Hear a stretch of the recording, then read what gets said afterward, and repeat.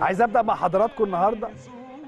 في 6 أغسطس سنة 2008 ظهرت قناة النادي الأهلي للنور.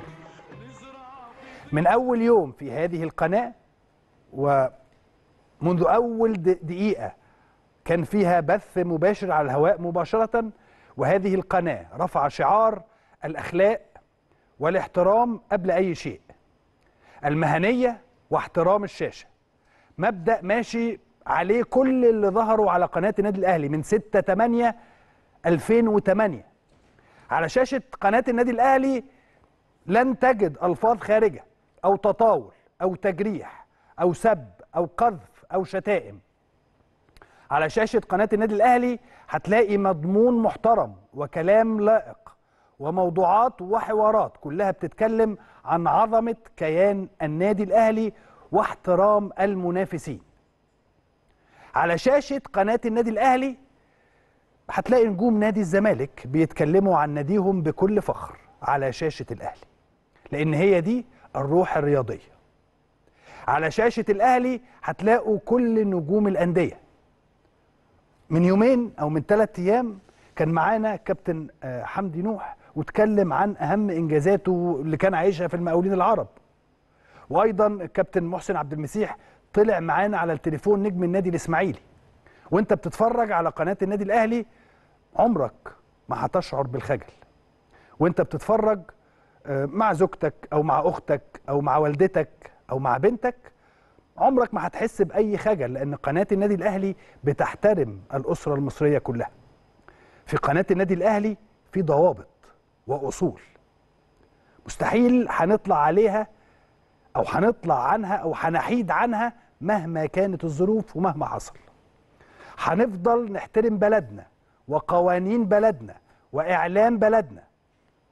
لأن مشاهدة قناة النادي الأهلي ممكن أي حد يقعد يتفرج عليها لأننا في الآخر ماشيين على مبادئ وقيم اتعلمناها جوه القلعة الحمراء. قناة النادي الأهلي جزء من الكيان العظيم اللي اتعلمنا منه حاجات كتيرة جدا. باحترام أو الاحترام اللي بنشوفه من خلال قناة النادي الأهلي هو بالاساس هو بالأساس احترام لهذا الجمهور الكبير وهذا الجمهور العظيم. نسمع كده كلمة قالها كابتن محمود الخطيب ونرجع نكمل مع حضراتكم. النادي الأهلي مش صريط اللسان. النادي الأهلي مش سباب. ولا فاحش ولا بذيء. الأهلي أكبر من كده بكتير.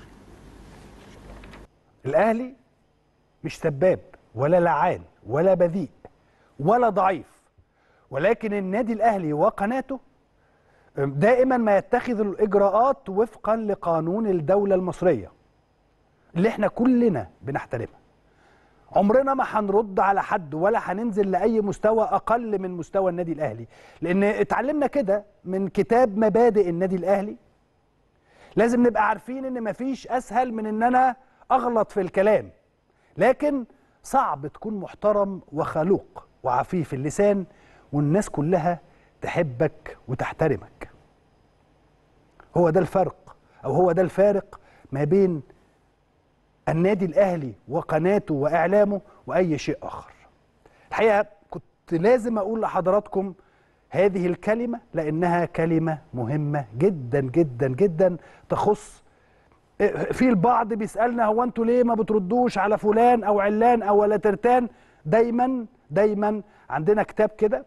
طبعا هو مش كتاب بالمعنى المفهوم ولكن هو كتاب كلنا عارفينه وكلنا حافظينه. كل من دخل النادي الأهلي عارفه وحافظه. هناك من يطبقه وهناك من لا يطبقه. إحنا في قناة النادي الأهلي بنطبق هذا الكتاب كتاب المبادئ والأخلاق والقيم.